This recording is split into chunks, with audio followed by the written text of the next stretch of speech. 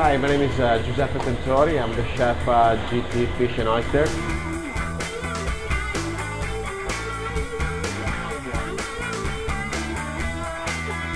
And today we're gonna make uh, diver scallop with Israeli couscous, English peas, and uh, creme fraiche and lobster sauce.